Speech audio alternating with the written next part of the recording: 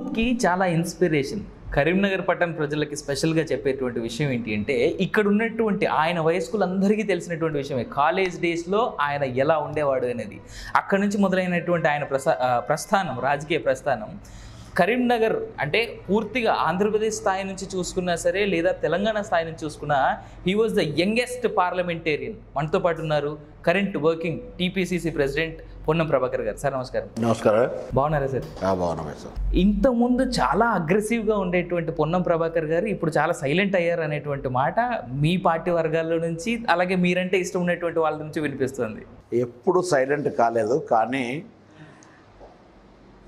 ఒక బాధ్యతలో ఉన్నప్పుడు వ్యవహరించేటువంటి పరిస్థితి బాధ్యత లేకుండా వ్యవహరించేటువంటి పరిస్థితుల్లో డెఫినెట్గా తేడా ఉంటుంది.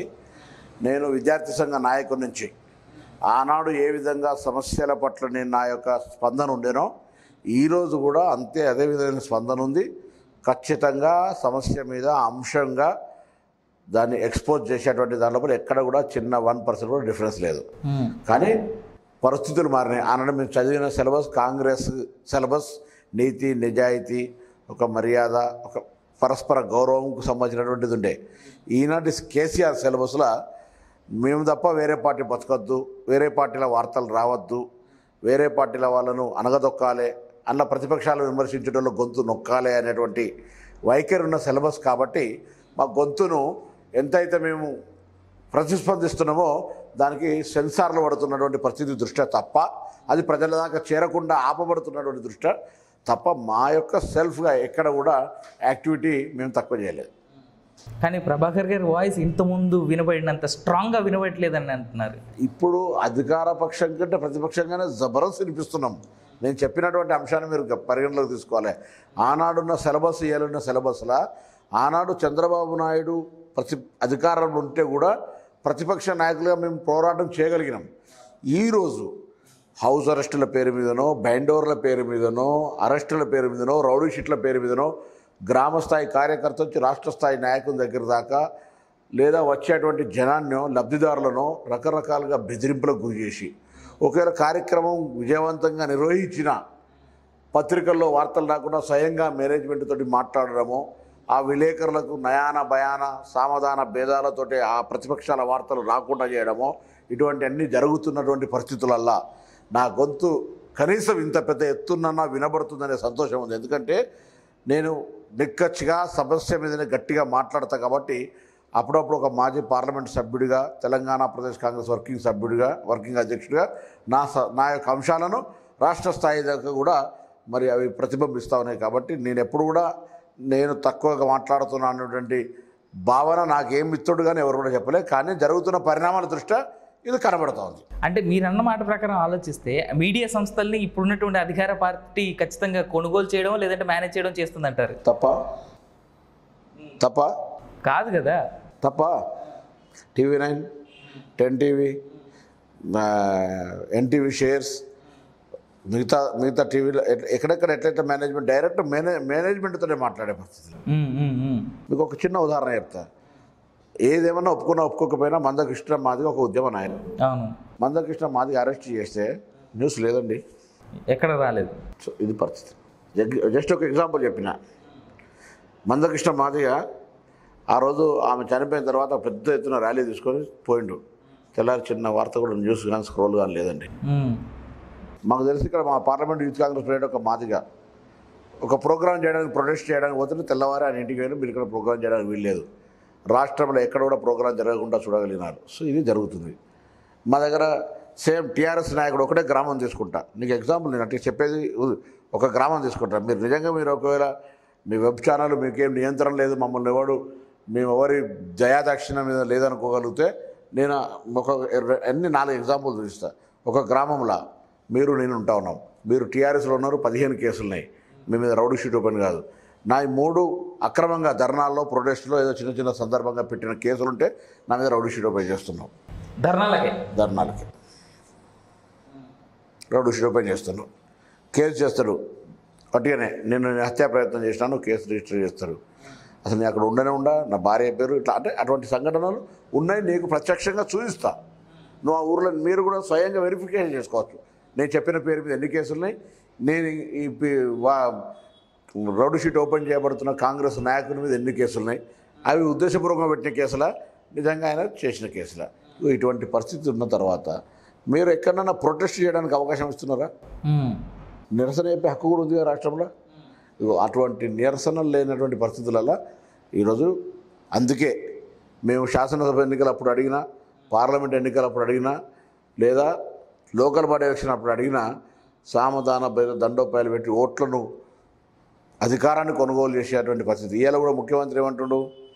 మంత్రులు బిడ్డ ఎమ్మెల్యేలు మీ నౌకరు పోతుంది మీరు ఊస్ట్ అవుతారు అంటే ఇవాళ ఉదాహరణకు మా స్థానిక శాసనసభ్యుడు మంత్రి ఒక్కొక్క కార్పొరేటర్ అభ్యర్థికి పదిహేను లక్షల రూపాయలు ఆన్ రికార్డ్ పదిహేను లక్షల రూపాయలు ఇస్తాను అని చెప్తున్నటువంటి మాటలు వినబడతా ఉన్నాయి. ప్రజలు చెప్తున్నారు. స్వయంగా మంత్రి. మంత్రి పదిహేను లక్షలు నేను ఆ కార్పొరేటర్ టికెట్ ఇస్తాను. మా పార్టీలో తీసుకుపోయి నలుగురు ఐదుగురిని. సో ఇటువంటి పరిస్థితి ఉన్నది. పదిహేను లక్షలు అరవై సీట్లు తొమ్మిది కోట్లు. అటువంటి పరిస్థితులలో ఎవరు తట్టుకోగలగాలి రాజకీయంగా? అందుకే మేము ఏమంటున్నాం ప్రశ్నించే గొంతు. ఎన్నికల హామీలు ఇచ్చిరు అమలు జరుగుతలేవు. యాభై ఏడు సంవత్సరాలకు పెన్షన్ కావచ్చు డబుల్ బెడ్రూమ్ కావచ్చు మూడు వేల పదహారు నిరుద్యోగ వృత్తి కావచ్చు రైతు బంధు కావచ్చు రైతు రుణమాఫీ కావచ్చు మిషన్ భగీరథ నీళ్ళు కావచ్చు మూడు లక్షల కోట్ల అప్పు కావచ్చు. ఇవన్నీ చేయనప్పుడు ఈ పార్టీకి ఎందుకు ఓటేయాలి? ఇవన్నీ చేయాలంటే ఈ పార్టీకి చలనం కలగాలంటే ఏం చేయాలి? కాంగ్రెస్ పార్టీకి గొంతు కావాలి. అధికారంలో మీరు గెలిపియండి. ప్రభుత్వం పడిపోదు. ఆ ఇచ్చిన వాగ్దానాలు నెరవేరుస్తాం మీ పక్షాన పొట్లాడి. లేదంటే మొన్న ఆర్టీసీ సమ్మెలాగా అంబాడిపిస్తారు ఇవాళ ఆర్టీసీ అయిపోయింది.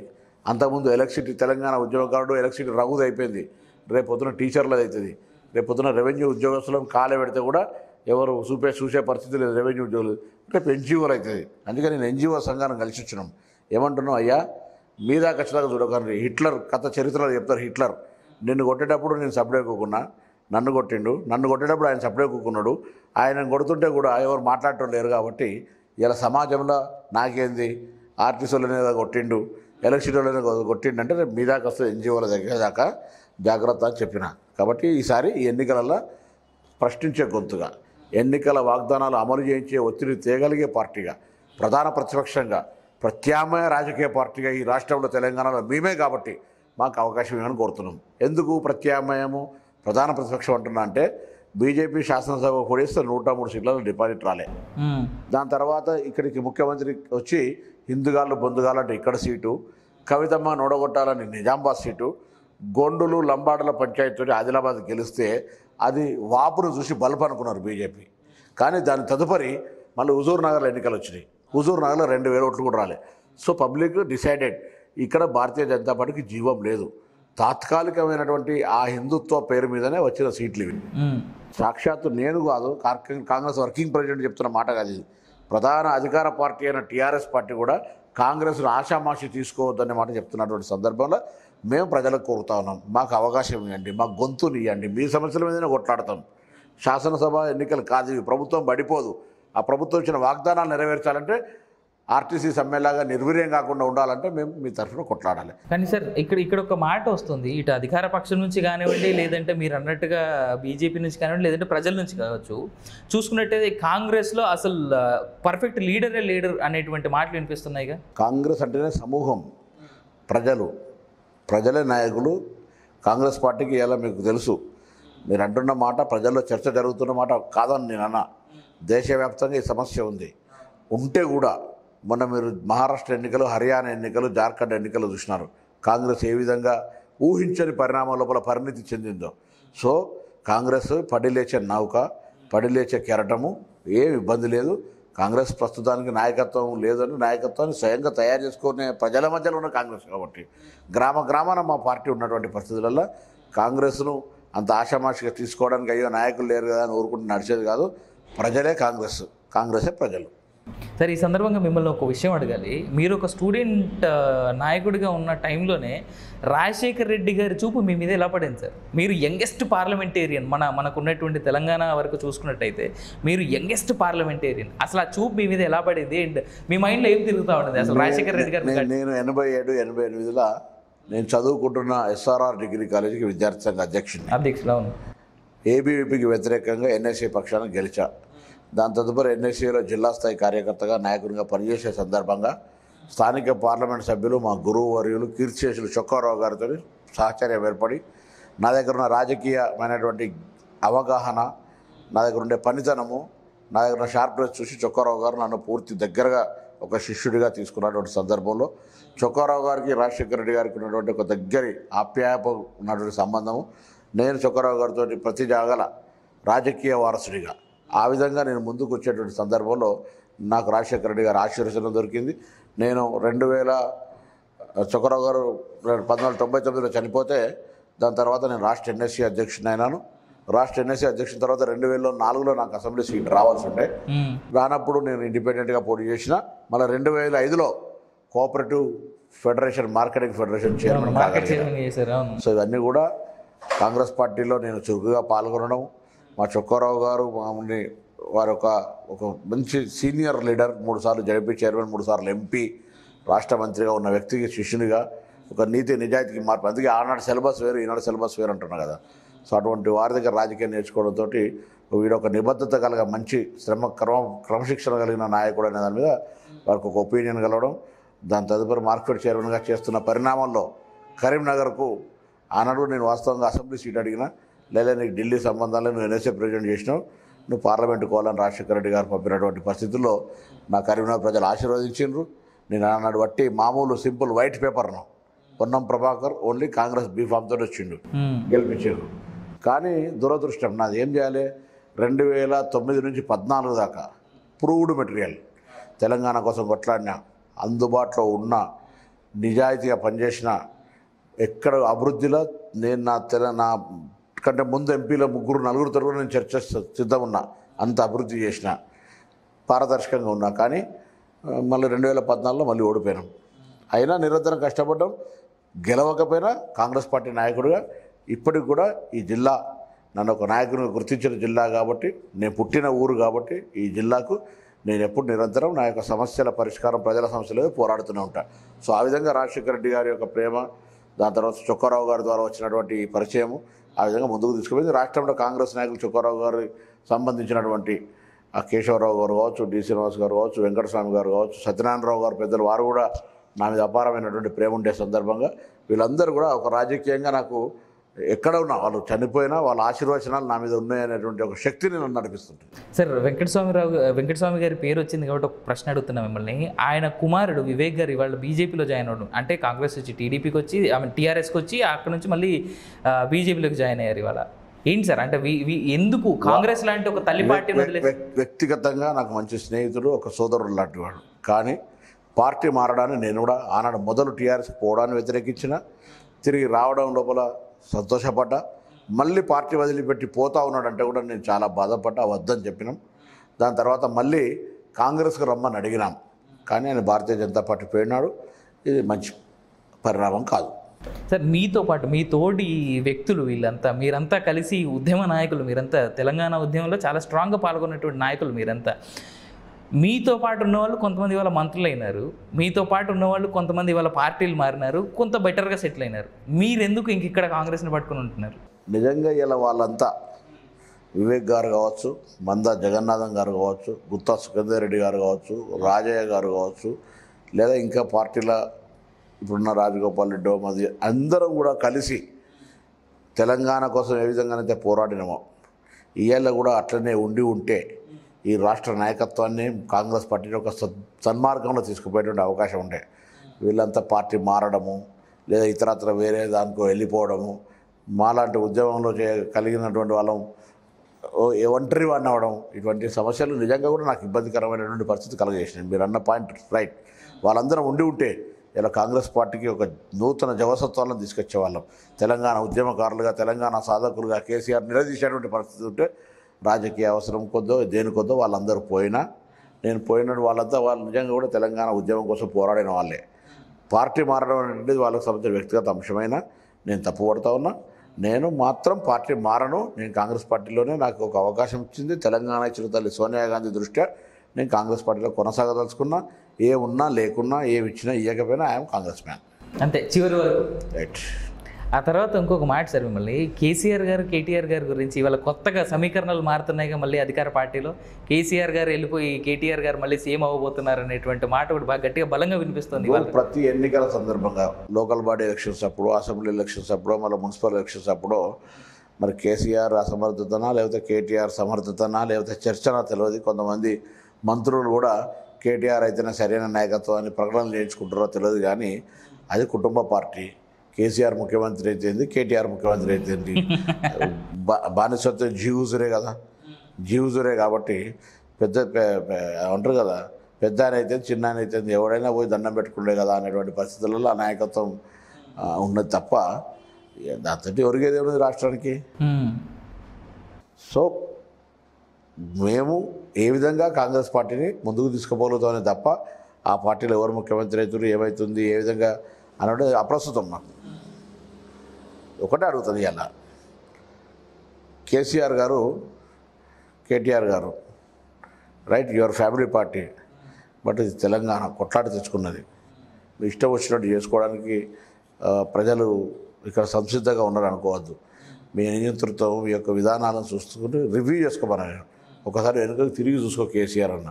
ఎందుకంటే ప్రభుత్వం రాగానే ఫస్ట్ ఇంధనం మిల్లాలు అవినీతి జరిగింది అన్నాడు ఇవాళ వరకు చర్య తీసుకునే దమ్మే లేదు కదా.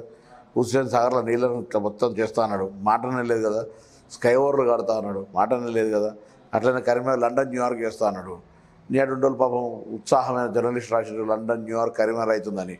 మొన్న వచ్చిండు కుదురుపాక దగ్గర ఒక నీళ్ళు ఉంటాయి మినర్ మిడివా అనేది. నేను దీన్ని లండన్ కింద బ్రిడ్జ్ ఇట్లనే ఉంటుందని చెప్తుండు. అంటే రాష్ట్రాలు పిచ్చోళ్ళ చదివినోళ్ళు పిచ్చోళ్ళ విన్నోళ్ళు పిచ్చోళ్ళ ఆయన పిచ్చోడా? ఇటువంటి పరిస్థితి ఉన్నది కాబట్టి అపరిచితుల్లాగా వ్యవహరిస్తుండు. ఆర్టీసీ ముగిన వ్యవస్థ. ఆర్టీసీ వాళ్ళకి అరవై ఏళ్ళకు వయసు పెంపు. అది ఆయన అన్నాడు ఇది ఈయననే అన్నాడు. సో ఇటువంటి పరిస్థితులు ఉన్నాయి. అటువంటి పరిస్థితులల్లో మరి జ్ఞాపక శక్తి లేదా అపరిచితుల్లాగా వ్యవహరిస్తుండని చెప్పి కేసీఆర్ ఆయన పక్కకు జరిపి కేటీఆర్ తీసుకోవాలనుకుంటున్నా అది మాకు అప్రస్తుతం. సార్ ఆర్టీసీ విషయంలో గెలిచింది ఎవరు ఓడిపోయింది ఎవరు సార్? ఆ ప్రజాస్వామ్యం ఓడిపోయింది నియంతృత్వం గెలిచింది. ఒక్కటే మాట. ఆర్టీసీ కార్మికులు హ్యాపీగా ఉన్నారు. ఎందుకంటే మీరు ప్రతిపక్ష పార్టీలు అంతా కలిసి వాళ్ళకి చాలా మద్దతు ఇచ్చారు. హ్యాపీగా కాదు అనేది. వాళ్ళు ఇప్పుడు నిన్ను మీరు నా దగ్గరికి బ్రేక్ఫాస్ట్కి వచ్చింది నేను బ్రేక్ఫాస్ట్ ఇవ్వలే లంచ్ ఇవ్వలే డిన్నర్ ఇవ్వలే. తెల్లారి బ్రేక్ఫాస్ట్ టైంకి ఏమన్నా నిన్న బ్రేక్ఫాస్ట్ పిలుస్తా అని చెప్పి బ్రేక్ఫాస్ట్ చేయలేదని మెల్లగా అడిగిన నన్ను. ఎందుకంటే నేను ధైర్య రూలింగ్లు ఉన్నా కుర్చీ మీద అధికారం ఉన్నా కాబట్టి. తెల్లవారు అడిగినావు. లంచ్ టైంకి కానీ ఇస్తలేడని నిరసన చెప్పినావు.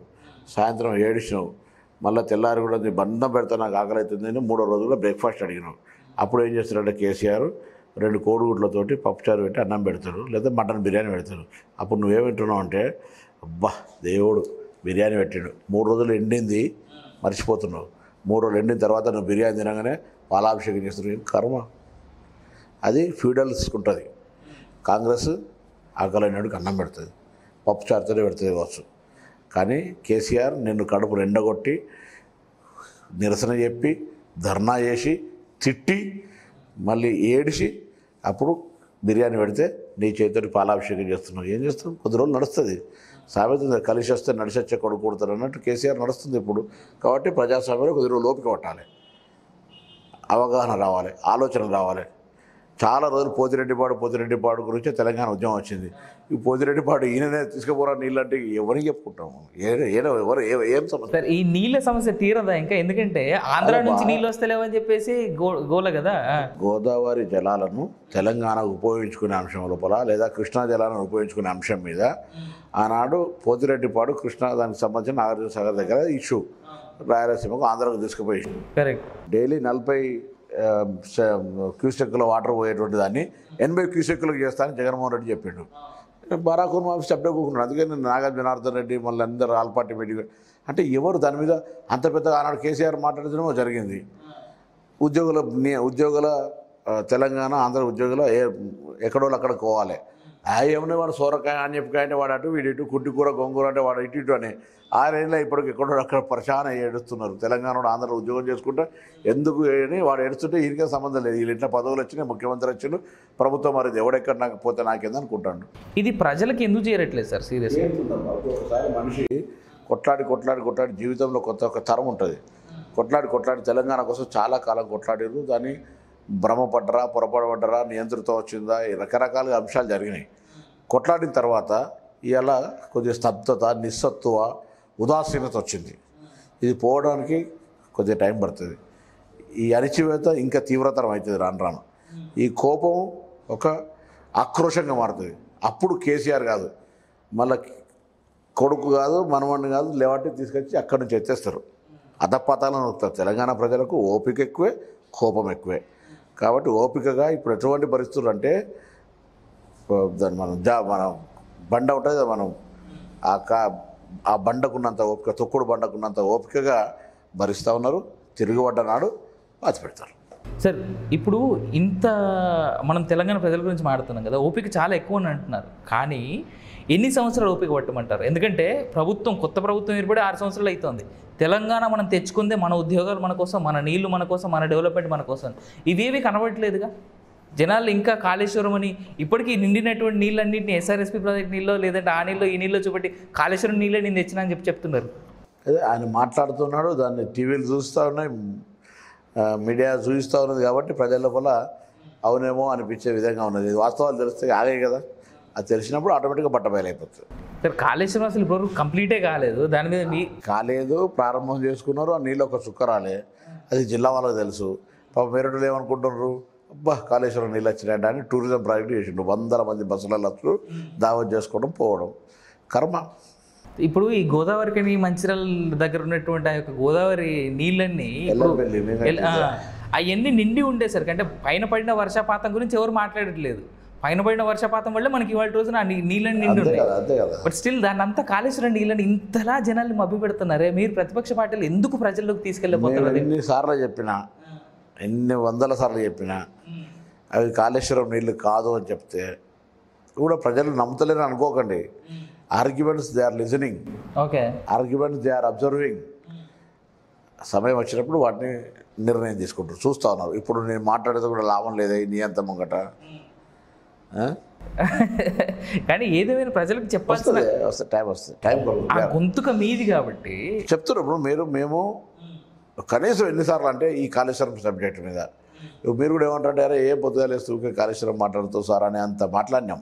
అంటే మీడియాకి విసుగొచ్చింది తప్ప ప్రజల్లో అంత ప్రజల్లో కూడా చైతన్యం నేను చెప్తే they are listening they are observing don't want responding now సరే ఇంకో విషయం మీకు మిమ్మల్ని అంటే మీరు ఒక పార్లమెంటేరియన్గా అవ్వడానికి మీకు సహాయపడేటువంటి నాయకులు వైఎస్ రాజశేఖర రెడ్డి గారు.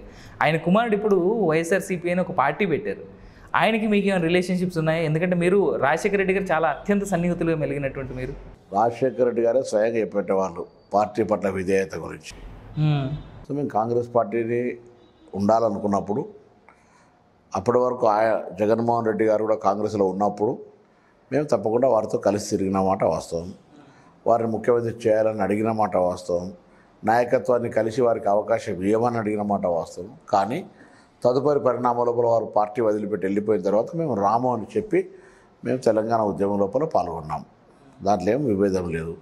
ఇలా వారు ఒక మా స్నేహితుడిగా మా నాయకుడి కొడుకుగా ముఖ్యమంత్రి అయిన సంతోషం ఆంధ్ర ప్రజల మనసుల్ని చురగొనే విధంగా పరిపాలన ఉండాలని ఆకాంక్షిస్తున్నాం. కానీ ఒక మాట సార్ అంటే మీరు వాళ్ళ నాన్నగారి పరిపాలన చూశారు ఆయన్ని చూశారు ప్రత్యక్షంగా చాలా దగ్గరగా అబ్జర్వ్ చేశారు. ఈ ఏడు నెలల్లో ఆయన సీఎంగా అయినప్పటి నుంచి మీరేమైనా ఆ పక్కగా ఏమైనా చూసారు ఎందుకంటే పక్క రాష్ట్రాల్లో జరుగుతున్నటువంటి పాలన కూడా అబ్జర్వ్ చేస్తూ ఉంటారు. ప్రస్తుత తెలంగాణ పరిస్థితుల్లో పక్క వైపు చూసే అవకాశం లేదు. ఒక సహచరుడి పార్లమెంటుగా మా నాయకుడు రాజశేఖర రెడ్డి కొడుకుగా బాగుండాలని ఆకాంక్షిస్తా ఉన్నాం. అంతే మళ్ళీ కలవడాలు మాట్లాడాలి ఏం జరగలేదు ఇంకా ఆ రోజు నుంచి ఈ రోజు వరకు. నా నవ్వుకు సమాధానం ఏంటి సార్? ఆకాంక్షించిన అంతే కదా ఓకే. సార్ ఇంకో విషయం ఏంటి అంటే ఇప్పుడు ఇంతలా ఆర్టీసీ ఇష్యూ అయిన తర్వాత కూడా ఒకానొక సందర్భంలో మళ్ళీ ఈ ఎలక్ట్రిసిటీకి సంబంధించినటువంటి ఉద్యోగులంతా సమ్మె చేయబోతున్నారు అనేటువంటి వార్త వచ్చిన నేపథ్యంలో ఇమీడియట్గా కేసీఆర్ గారు ఆ ఉద్యమ నాయకులు ఎవరైతే ఉన్నారో సీనియర్లందరినీ ఇంటికి పిలిపించుకొని ఒక విందు లాంటిది ఇచ్చి అందరినీ మీరేం చేయకుండా మిమ్మల్ని ఎలా చూసుకోవాలి నేను చూసుకుంటా అని చెప్పేసి లోపల లోపల చేశారు అనేటువంటి మాట ఉంది. దానికి కొంతమంది కాంగ్రెస్ నాయకులు కూడా సపోర్ట్ చేశారు అనేటువంటి మాట ఉంది. ఇది ఎంతవరకు నిజం అంటారు? నాకు అంత విషయం మీద అవగాహన లేదు కానీ ఏది జరిగినా చెప్తే కదా. అది కా ఒకవేళ అటువంటి పరిస్థితి ఉంటే ఈ రాష్ట్రంలో ఇన్ని ఛానల్స్ ఉన్నాయి ఇన్ని పేపర్లు ఉన్నాయి. అటువంటి నాయకునికి బట్టలు ఇప్పి ఇటువంటి దొంగ పని చేసిందని చెప్పొచ్చు కదా. మీరన్నా చెప్పండి. ఎక్కడ సార్ మీడియాకి స్వాతంత్రతే లేదు కదా. మీరు స్వతంత్రత లేని ఒప్పుకో కదా అప్పటి నుంచి ఒప్పుకుంటలేవు కదా. ఒప్పుకుంటున్నాం కదా మేము కూడా. చాలు దట్ ఈస్ ఎనఫ్ ఈ అన్ని ప్రశ్నలకు జవాబు అదే. అన్ని ప్రశ్నలకి. స్వతంత్రం లేని స్వ- సాధించుకున్న తెలంగాణ రాష్ట్రంలో ప్రజాస్వామ్యం లేని నియంత్రణ రాష్ట్ర నియంత్రణ రాష్ట్రంలో పరిపాలన ఎట్టుంటుందో ఊహించలేకపోతే నేనెట్లా నువ్వెట్లా ఇది రెండోసారి తెలంగాణ ప్రభుత్వం మనకి అధికారంలోకి రావడం టీఆర్ఎస్ పార్టీ అధికారంలోకి రావడం. డెవలప్మెంట్ ఎంతవరకు జరిగిందని మీరు అనుకుంటున్నారు? అసలు ఇచ్చిన మాటలు ఏమాత్రమైనా జరిగాయి? రెండు అంశాల్లో అనూహ్యమైనటువంటి అభివృద్ధి జరిగింది. ఒకటి దేశంలో ఏ రాజకీయ పార్టీ చేయని విధంగా పార్టీ ఫిరాయింపులను రాష్ట్ర స్థాయి నుంచి గ్రామ స్థాయి దాకా పార్టీ ఫిరాయింపు లోపల ఇది ఈ తెలంగాణ ప్రభుత్వం నెంబర్ వన్. నెంబర్ రెండు దేశంలో ఇరవై తొమ్మిది రాష్ట్రాల్లో ఏ రాష్ట్రం చేయనన్ని అప్పులు మూడు లక్షల కోట్లు అప్పు చేసి ఈ రాష్ట్రాన్ని భవిష్యత్ తరాలకు అంధకారం చూపెట్టే దాంట్లో పునాది రాసి వేసిన మొట్టమొదటి తెలంగాణ రాష్ట్రం ఈ రెండు అంశాల లోపల వాళ్ళ ప్రగతికి చూసి ఎవరు కూడా ఆశ్చర్యపోయేటువంటి పరిస్థితి. ఇది- తెలంగాణ ప్రగతి. ఈ ఈ రెండు రెండోసారి ఎలక్ట్ అవ్వడం వల్ల అయినా సరే ప్రజల్లో ఇంకా టీఆర్ఎస్ మీద ఉంది కదా సార్. మా కేసీఆర్ ఏదో చేస్తున్నాడు అని చెప్పేసి ఎందుకు వేరే పార్టీల వైపు ప్రజల చూపు ఎందుకు వెళ్ళట్లేదు? మీరు రెండు వేల పద్దెనిమిది శాసనసభ ఎన్నికలు చూస్- చూసినట్టయితే ఎందుకంటే రాజకీయ అవగాహన మీకు కూడా ఉందని నేను భావిస్తున్న సందర్భంగా ఎన్నిక తెలంగాణ ప్రభుత్వం ఏం చేసింది? ఎన్నికలకు ఇచ్చిన హామీలు అమలైనయా? కాంగ్రెస్ పార్టీ ఏం హామీలు ఇస్తుంది? తెలంగాణ ప్రభుత్వం ఈ హామీలలో విఫలమైంది అనే చర్చ మీద ఎన్నికలు జరగలే. వ్యూహాత్మకంగా మీరు మీరు చూడండి ఫస్ట్ వారం రోజులు టీఆర్ఎస్ మంత్రుల్ని ఎమ్మెల్యేలను గ్రామాలకు రానివ్వని పరిస్థితి.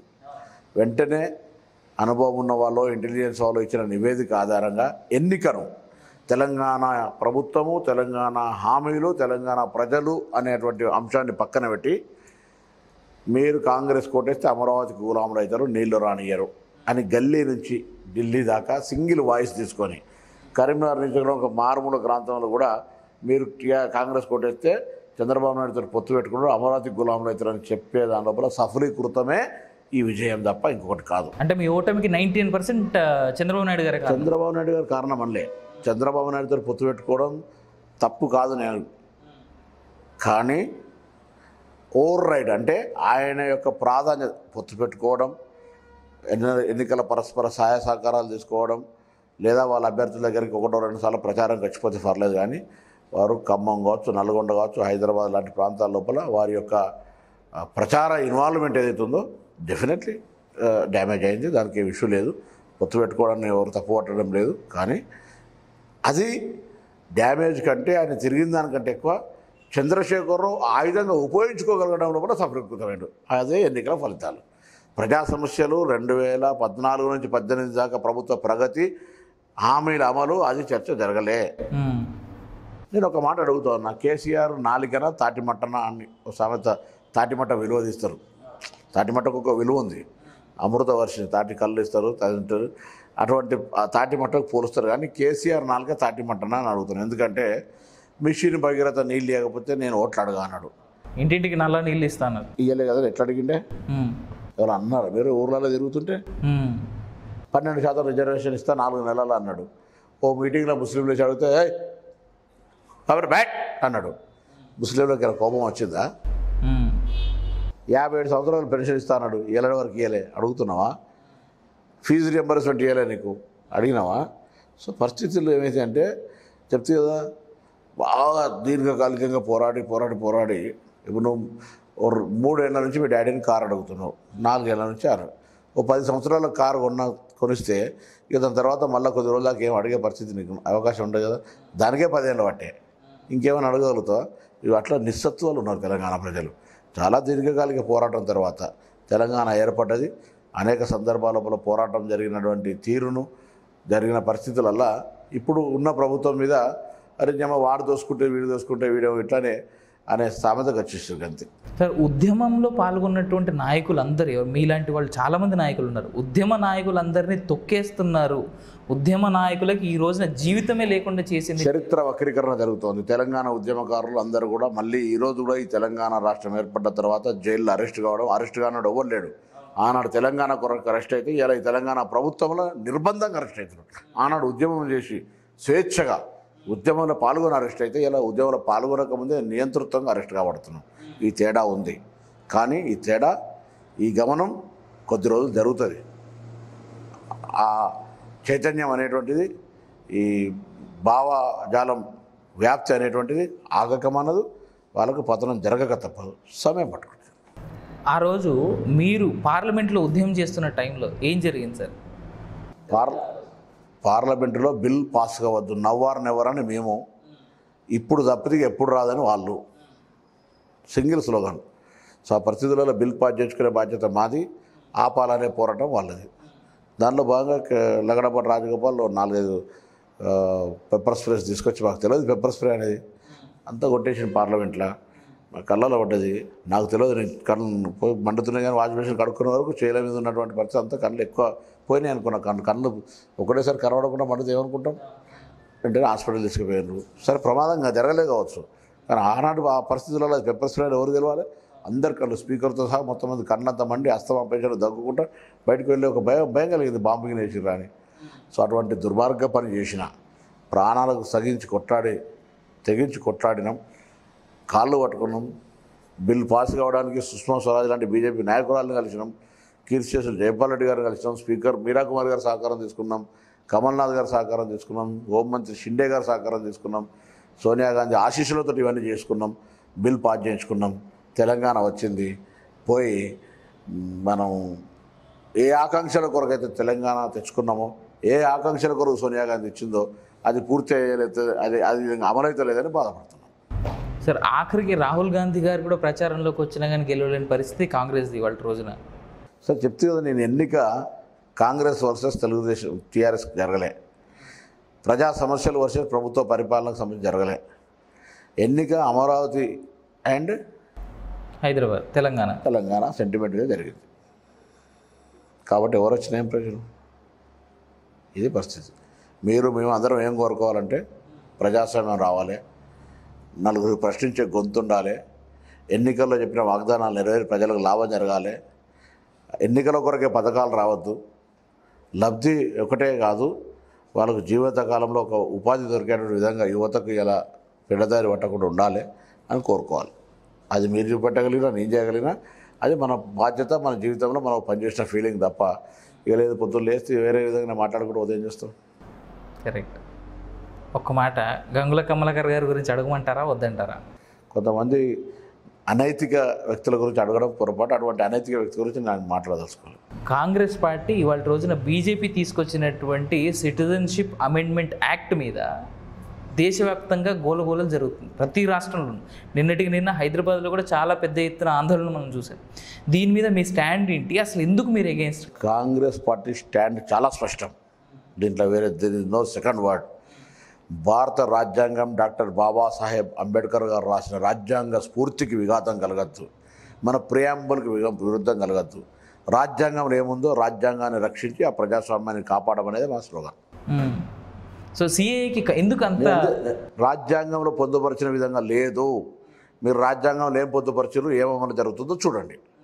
అంతే తప్ప నేను ఒక మాట అడుగుతా ఉన్నా భారతదేశంలో పార్లమెంటులో మేము అధికారంలో ఉన్నప్పుడు నెహ్రూ గారి నుంచి మొదలు పెట్టుకుంటే వ్యవసాయక విప్లవం పారిశ్రామిక విప్లవం విద్యా విప్లవం ప్రాజెక్టుల విప్లవం పేరు ఇట్లా అనేక రకాల ఒక కార్యక్రమాలు తీసుకుని ఆనగట్టిన ప్రాజెక్టులు ఇయ్యాలంటే కూడా వ్యవసాయ ఆధునిక దేవాలయాలు అవి.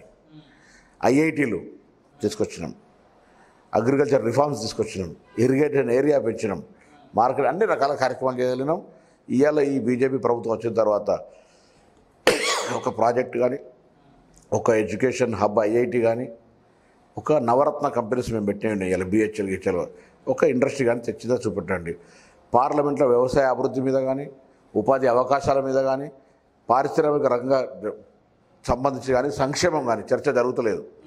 Three seventy article triple talaq Rama Janmabhoomi CAA NRC పార్లమెంట్లో హిందూ ముస్లిం లేదా ఆటవిక దాడులు గోరక్ష గోహంతకులు ఇట్లా రకరకాలుగా చర్చ తప్ప రైతులు ఏమవుతున్నారు పరిశ్రమలేంది?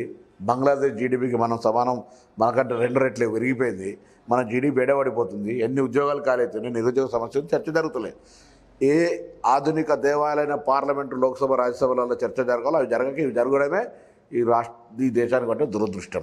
సార్ మన్మోహన్ సింగ్ లాంటి వారు మన దేశ ప్రధానిగా చేసినటువంటి వ్యక్తి ఆయన గోల్డ్ మెడలిస్ట్ ఎకనామిక్స్లో. ఒకవేళ పాసిబిలిటీస్ ఉంటాయి. ఈయనే చొరవ తీసుకొని బీజేపీ లాంటి ఒక పార్టీకి అధికారంలో ఉన్నటువంటి పార్టీకి ఆర్థిక మాంద్యం దెబ్బ మనకి చాలా గట్టిగా తగలబోతుంది. ఇది నా సజెషన్స్ అని ఇచ్చేటువంటి ఛాన్స్ ఏమైనా ఉందండి పదిసార్లు చెప్పిండ్రు వాళ్ళు పట్టించుకునే స్థితిలో లేరు కదా. They are not allowing to say.